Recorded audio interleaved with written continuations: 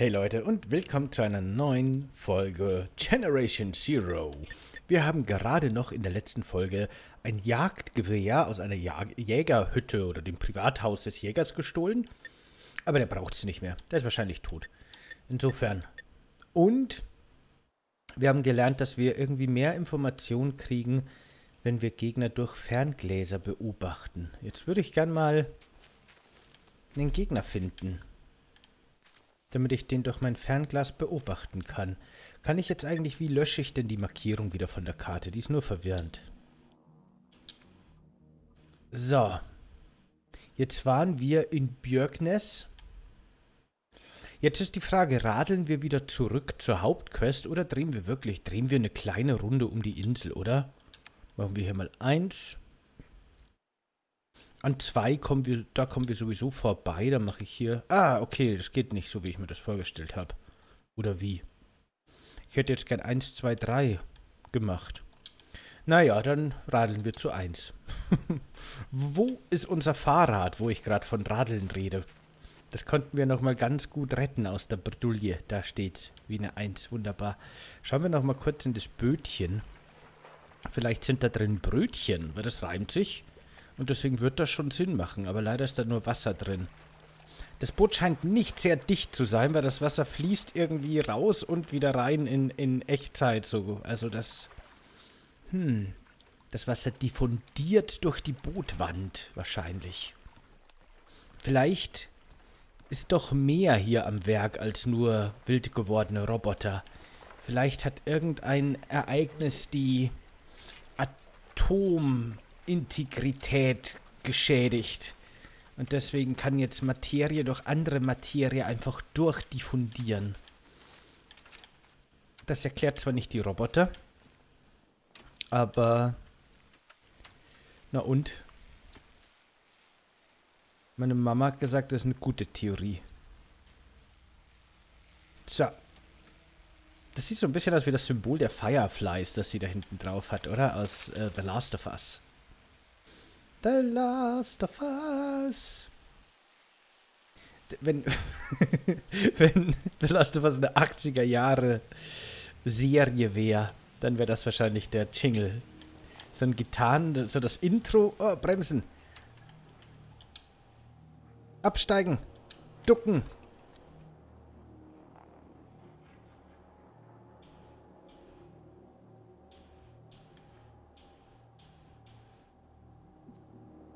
Ah ja, guck.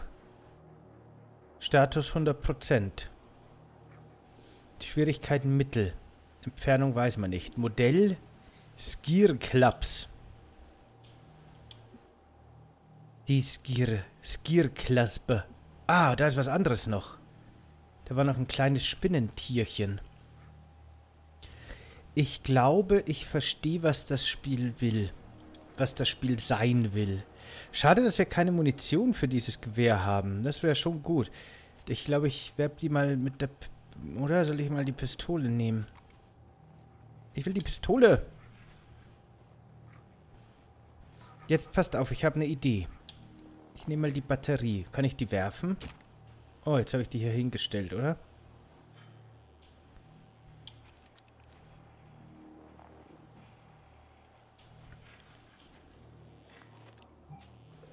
So, und jetzt nehme ich einen Leuchtfeuerstab.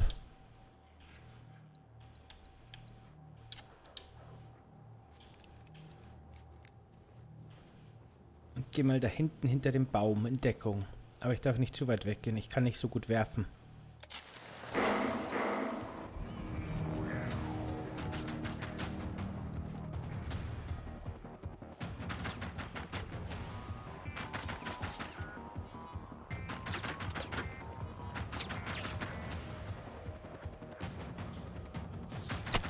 Ich habe das Gefühl, die wissen genau, wo ich bin.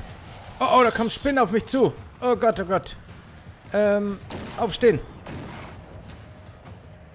Hä, sterben die dadurch?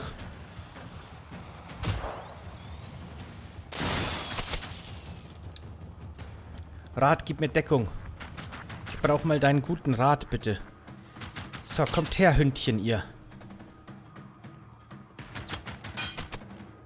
Kommt doch mal näher. Ich habe hier so eine schöne Falle für euch gebaut. Und dann kommen die nicht. Ist ein bisschen unhöflich von denen jetzt.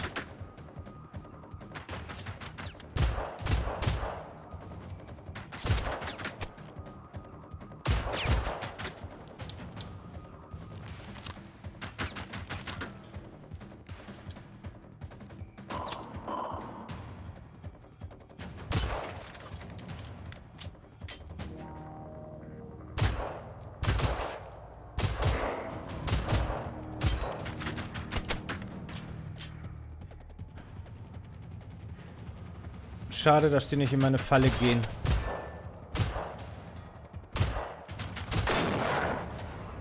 Wirklich schade. Schade um die gute Falle.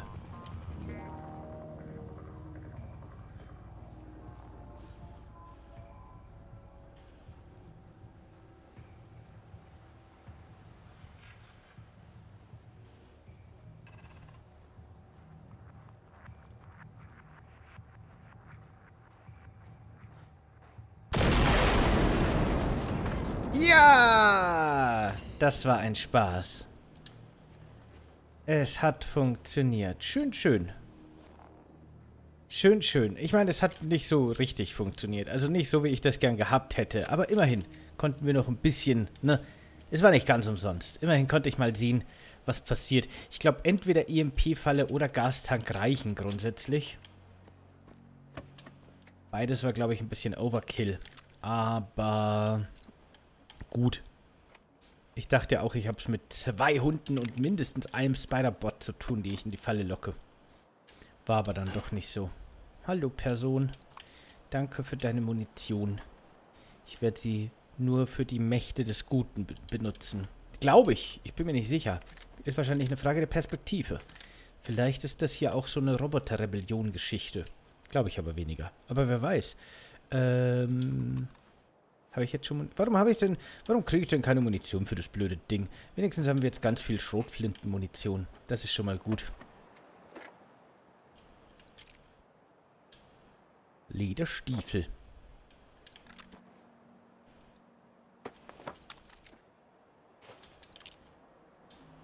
Sind die Adrenalinspritzen quasi extra Leben? Habe ich das richtig verstanden? Und habe ich jetzt schon tausend davon und bin so gut wie unsterblich? Oder ist das nur Multiplayer-Adrenalin? Äh, Extra-Leben, meine ich. Und kann ich die kleinen Spinnenroboter, die ich da hinten kaputt gemacht habe... Die haben sich komplett aufgelöst, oder? Da bleibt nichts übrig, schade. Naja, lass mich mal ganz kurz gucken. Ähm, in unser Profil. Ob wir da nicht vielleicht schon Sachen gefunden haben die Statuswerte haben. Yeah, Kappe rückwärts. Nice. Die hat zwar keinen Statuswert, aber nehmen wir trotzdem.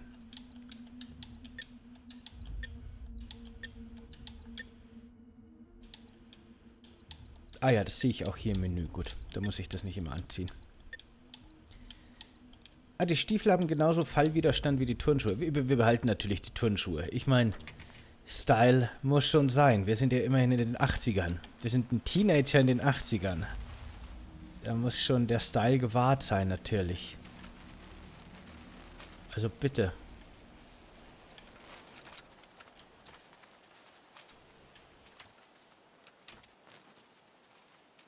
Ist da offen? Ach, das ist ein umgefallener Lastwagen. Ja, okay, schauen wir uns den kurz mal an noch. Vielleicht kann ich da noch irgendwas aufmachen oder looten oder so.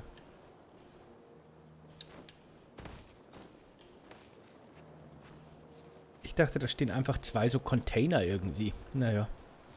Ist aber ein langweiliger Lastwagen. Rad, weiter geht's. Rückwärtsgang. Piep, piep. Und Radl. Radl wie der Wind. Du tapfere Heldin der 80er.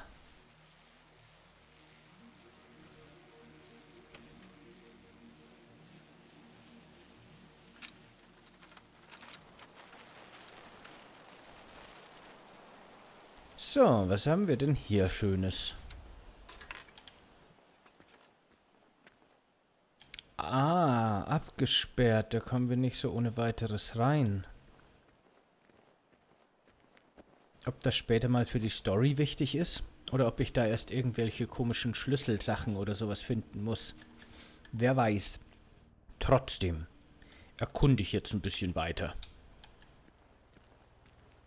Die Runde drehen wir jetzt fertig. Schauen wir uns mal ein bisschen um. Fahrrad, ich wäre soweit. Wie sieht's mit dir aus? Jetzt, okay.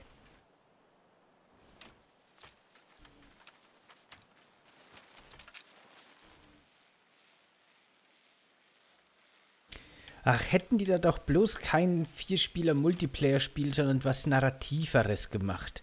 Was Story-getriebeneres, weil das Setting finde ich ziemlich cool. Das hätte so ein Stranger Things mit Robotern werden können. Das wäre cool gewesen.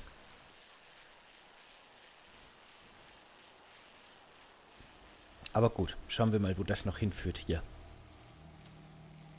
Gruselige Musik. Ich radel mal ein bisschen langsamer.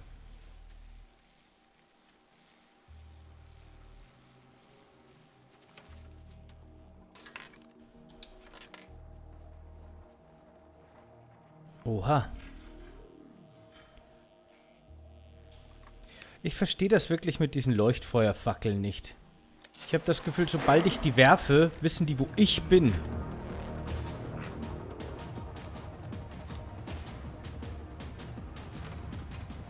Aber diesmal hat es scheinbar funktioniert. Der ist ganz aufgeregt. Niedlich. Hey, warte doch mal. Oh, Mist.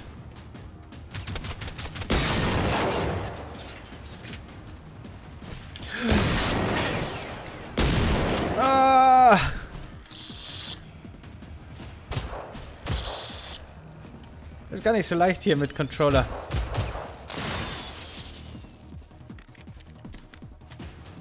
Okay. Das ist schon immer wieder erstaunlich, ne? Weil jeder Controller fühlt sich einfach ganz anders an. Ich finde den Xbox Series Controller jetzt hier wirklich sehr gut. Ich weiß nicht, ob das... Ist das der gleiche wie auf der One oder ist das nochmal eine andere Version? Da bin ich mir nicht ganz sicher.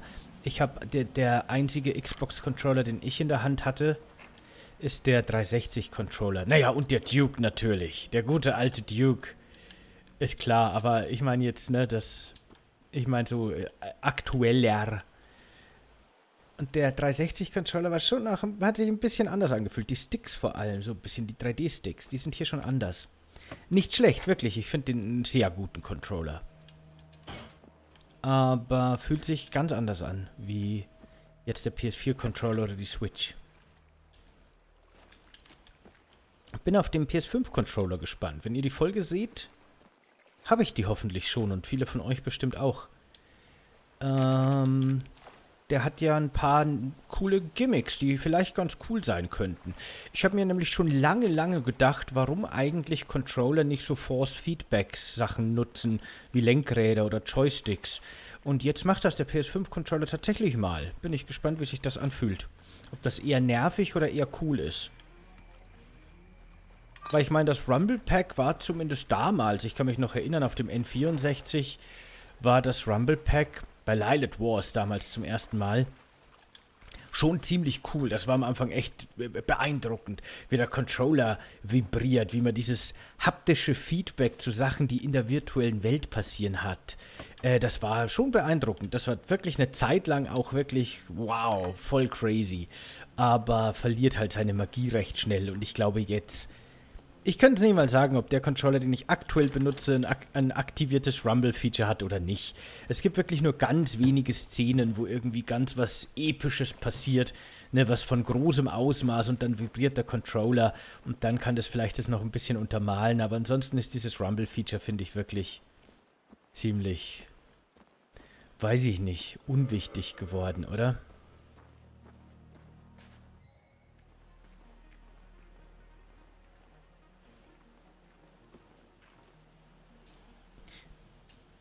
Es ist so ein bisschen wie Bewegungssteuerung. Als ich die Wii damals hatte, als ich die bekommen habe, haben wir alle, also ich, meine Freunde, meine Familie, alle so viel Ma äh, äh, äh, Wii Fit, äh, nicht Wii Fit, wie hieß es denn? Wii Sports gespielt. So viel Tennis, gerade Tennis vor allem, aber auch die anderen Spiele. Wir hatten wirklich Tennisarme, uns hat alles wehgetan. Es war einfach nur faszinierend und ein Riesenspaß. Und heute ist Bewegungssteuerung so ziemlich tot. Bewegungssteuerung war nochmal im Grunde der Urvater von, von VR-Technologie. Durch die Wii vor allem konnten sich plötzlich nämlich ganz viele, auch Studenten und Wissenschaftler und so weiter, so billige Bewegungstechnologie äh, sichern wie noch nie zuvor. Das hat, was das angeht, einen ziemlichen Hype ausgelöst, was ziemlich cool ist. Das hat viel Fortschritt auf dem Gebiet gebracht. Aber wie gesagt, mittlerweile eher in den Hintergrund gerückt. Ne? Jetzt muss ich mal schnell. Irgendwie hat es mir gerade angezeigt hier und ne, da, wo ich jetzt bin, habe ich null von einer Waffe gefunden. Aber jetzt weiß ich nicht genau, was die meinen und wo und wie und was. Sind die drei kleinen Häuschen da vorne, kann man nicht reingehen. Deswegen bin ich jetzt verwirrt. Und verunsichert. Und verwirrt sichert. Ich habe in dem Test zu dem Spiel, ich habe mal so ein bisschen durchgeblättert, weil das Spiel sehr negativ von der internationalen Presse wahrgenommen wurde, was aber auch sehr stark darauf zurückzuführen ist, dass es eben zum Release wahnsinnig verbuggt war, bis zur Unspielbarkeit scheinbar. Das ist natürlich nicht gut. Aber auf jeden Fall habe ich immer wieder auch gelesen, dass leider Erkunden scheinbar, äh, haben viele kritisiert, von dem Spiel nicht wirklich belohnt wird. Und das ist bis jetzt leider auch mein erster Eindruck gewesen. Man findet halt meistens irgendwie Gerümpel, das man eh nicht brauchen kann. Zumindest weiß ich noch nicht für was eigentlich. Und in so viele Gebäude kann man gar nicht reingehen. Die sind nur zur Dekoration. Und das ist einfach wirklich ein bisschen frustrierend. Das ist nicht optimal designt. Wenn man, das haben wir spätestens bei Breath of the Wild gelernt. Also alle Spiele, die nach Zelda Breath of the Wild erschienen sind, haben wirklich keine Ausrede mehr. Wenn der Spieler in der Entfernung irgendwas sieht und sich denkt, hm, da könnte was sein, dann muss da was sein. Das ist, das, das ist wirklich das A und O für gutes Open-World-Design. Wenn was interessant aussieht, wenn was auch nur annähernd interessant oder ungewöhnlich aussieht, muss der Spieler dafür belohnt werden, dass es ihm aufgefallen ist. So erzeugt man Motivation und eine interessante, coole Welt, die Spaß macht zu erkunden. Und wenn da drei rote Häuschen stehen und da ist im Grunde einfach gar nichts, außer irgendwie so ein toter Kerl, der irgendwie ein bisschen Munition hat, dann ist das frustrierend. Dann ist das das Gegenteil von interessanten, guten Open World Design. Dann ist das eher so ein bisschen so, uh, hier ist schon wieder nichts. Weil das führt dann im Endeffekt nur dazu, dass man einfach nur von A nach B läuft, weil man weiß ja, dass man da sowieso nichts Interessantes findet, wo auch immer man hingeht. Und das sollte nicht passieren. Weil das führt quasi die ganze Open World an absurdum. Sagt man das so? An absurdum? Manchmal höre ich Worte und versuche die nachzusprechen, aber habe sie nie gelesen. Dann ist es schwierig. Teilweise. Sudala. Kennt ihr das? Wahrscheinlich, oder? Wenn man Worte nur vom Hören kennt, aber nicht vom Schreiben. Und deswegen weiß man sich gar nicht, weiß man nicht so hundertprozentig, wie man die eigentlich genau ausspricht.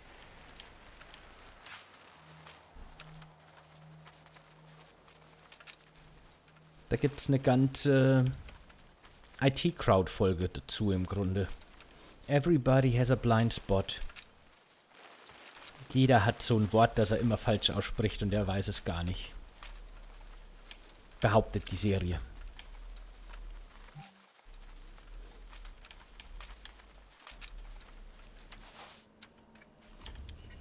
Schau hier zum Beispiel. Da drüben steht jetzt so ein kleines Häuschen irgendwo auf der anderen Seite von dem Sumpf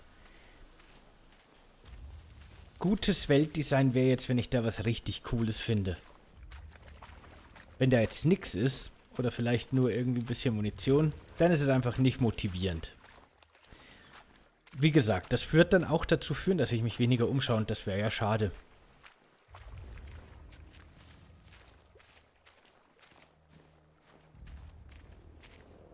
Das ist jetzt die Probe aufs Example. Alles oder nichts, Game Designer. Nein, ich kann nicht mal die Tür öffnen. Ich kann nicht mal die Tür... Das Haus ist ein Dummy, nicht mal die Scheiben sind echt. Ach, kommt. Ach, kommt. Ach kommt, Game Designer, warum sollte man sowas machen? Wirklich jetzt. Das ist doch... Also wirklich, das ist nicht gut. Das ist nicht gut designt.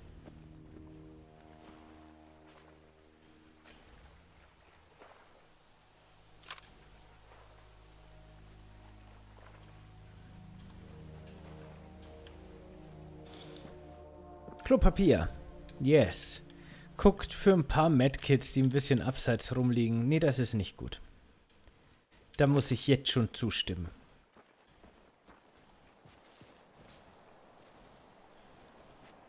Aber gut. Okay. Wow, ich, da hat mich gerade irgendwas bemerkt. Aber ich weiß nicht was. Ist da oben ein Gegner? Oder ist das nur der Sonnenaufgang, der durch den Wald geschimmert hat? Ich glaube, es ist nur der Waldschein, der durch die Sonne geschimmert hat. Nee. Das ist kein Waldschein, der durch die Sonne geschimmert hat. Das war ein rotes Licht. Da ist ein Roboter. Der sieht anders aus als die, die ich bisher kenne. Handglas A. Schwierigkeit schwer. Ein Humanoider. Ein Prototyp-Klassenhunter. Shit. Kann man irgendwie speichern hier? Ich glaube, das speichert von alleine. Wahrscheinlich.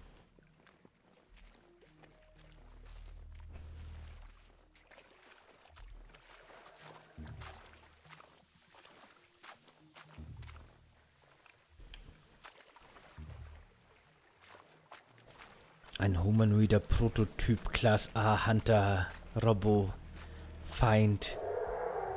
Oh oh. Ich glaube, ich wurde bemerkt.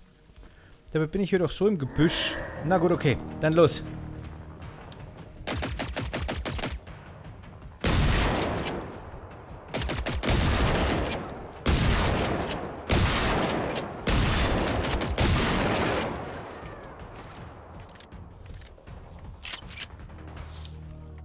Na schau, nix, was ein bisschen Schrotflinte nicht, nicht reparieren könnte, äh, richten könnte, äh, hinrichten könnte. Haha, ah, hilarious. So, da. Ich habe nur noch drei Schuss Schrotflinte. Mit der Pistole möchte ich nicht gegen den kämpfen. Ich hoffe, das passiert nicht nochmal, dass wir so eintreffen. Macht mir jetzt ein bisschen Angst, dass der hier einfach so rumsteht. Vielleicht hätte ich doch nicht hierher kommen sollen. Aber gleich sind wir wieder am, am Startgebiet. Einfach noch der Straße ein bisschen folgen, dann sind wir wieder am Anfang und da dürfte es sicher sein. Holy Macaroni. Habe ich jetzt schon Munition für das Ding? Ja, habe ich. Ich habe Munition für unser Boltgewehr. Wie kann ich denn jetzt bitte diese blöden Aufsätze auf mein Gewehr montieren? Ergänzung. Ah, nö. Ah, hier unten, Visier. Das sind zweimal die gleichen, oder? Nur eins ist irgendwie besser als das andere. Ähm, okay. Uh. Uh. 15 Gramm. Ich habe einen 15 Gramm Modder bekommen. 15 Gramm Modder, bitte. Bäh. das, das, klingt toll. Da geht man zum Modderhändler, zum Dreckwarenhändler und sagt zu dem, hallo, ich hätte gern 15 Gramm Mutter. Bitteschön. So, Dalla, machen wir für heute Schluss. Ähm, vielen Dank fürs Zusehen. Ich hoffe, euch hat es gefallen. Wie immer wäre ein Like und ein Abo gut. Und vergesst euren Modder nicht. Schicke ich euch zu, kostenlos. Als kostenloser Service. 15 Gramm Modder für alle. Macht's gut, bis zum nächsten Mal. Ciao.